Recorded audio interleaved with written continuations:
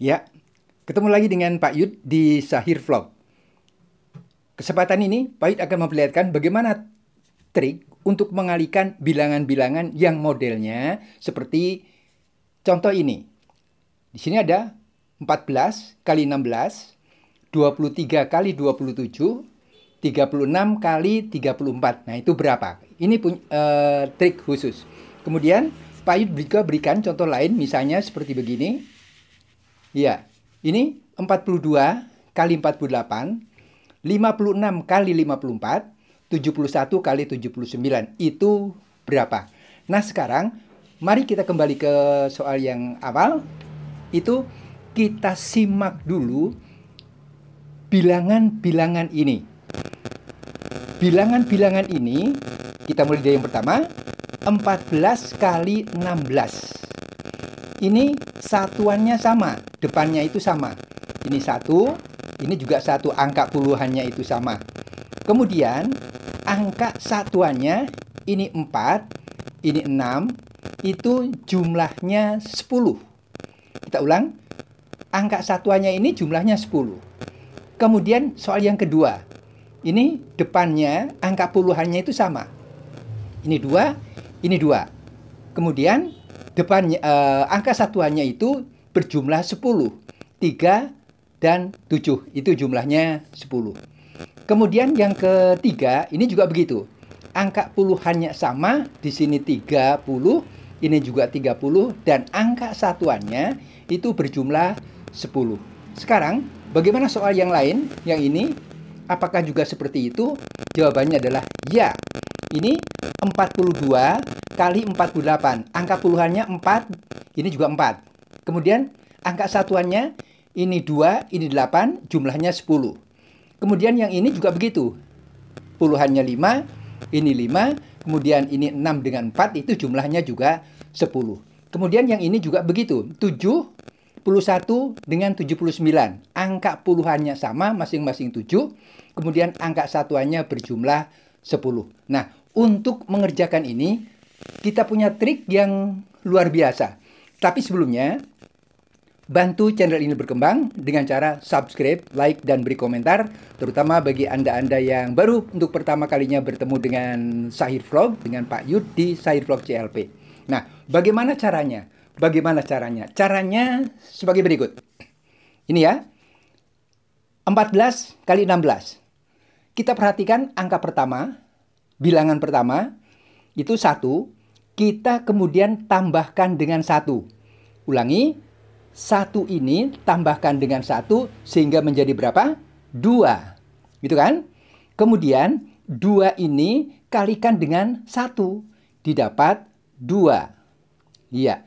Sesudah didapat dua, kemudian angka belakangnya itu kali kita kalikan. Empat kali enam itu dua puluh empat. Iya. Jadi 14 kali 16 itu 224. Nah, kemudian itu kita terapkan di yang kedua. 2 ditambah 1 itu 3. Itu kan? 2 ditambah 1 itu 3. 3 kalikan dengan 2 itu 6. Ya. Sesudah kita mengalihkan seperti itu, kalikan yang satuannya. 3 kali 7 itu 21 tambahkan di sini. Jadi 23 kali 27 itu adalah 621.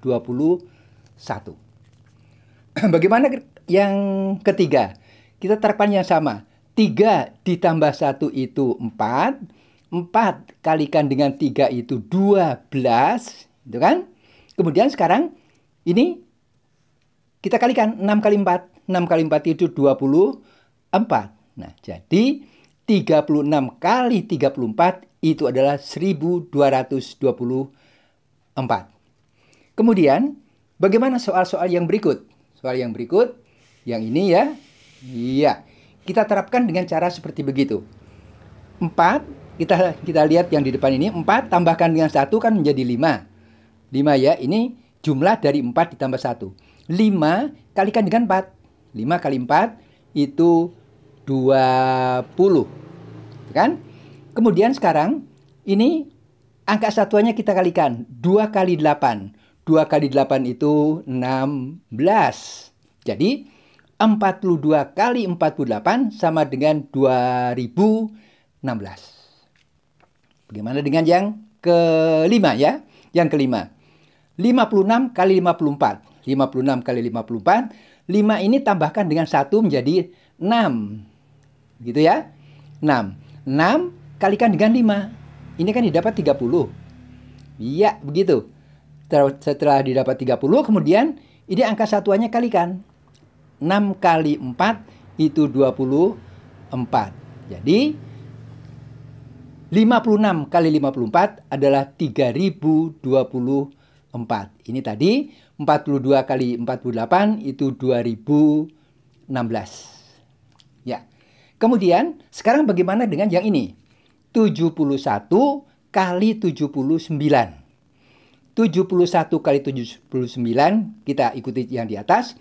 7 itu ditambah 1 menjadi 8. Gitu kan? 8 kalikan dengan 7. 8 dengan kalikan dengan 7 itu 56. Kemudian angka satuannya kita kalikan.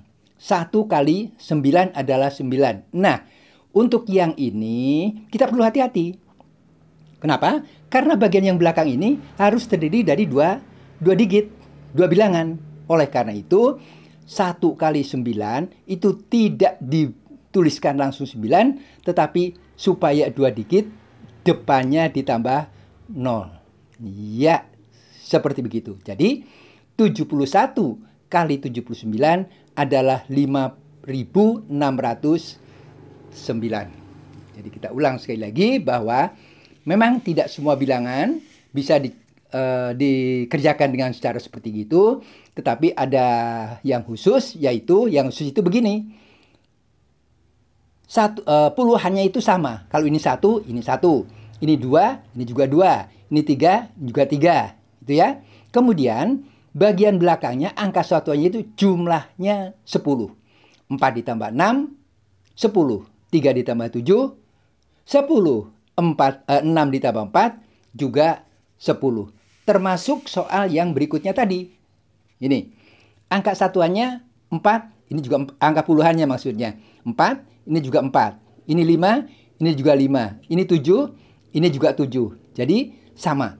Kemudian angka satuannya berjumlah 10. 2 dengan 8, 10. 5 dengan eh, 6 dengan 4 juga 10. 1 dengan 9 juga 10. Tetapi yang harus kita hati di, hati di sini dengan langkah-langkah seperti itu adalah yang ini. Kalau dua digit di belakang itu ketemu hanya satu digit, satu bilangan, tambahkan dengan 0 di depannya. Sehingga 71 kali 79 adalah 5609. Begitu ya. Ya, jadi sekali lagi bahwa hal ini adalah uh, trik saja untuk memudahkan anak-anak yang untuk menemukan berapakah hasil kali bilangan-bilangan seperti itu yang modelnya seperti itu dengan syarat-syarat yang seperti tadi. Terima kasih atas perhatiannya. Semoga ini bermanfaat karena semua Anda hebat.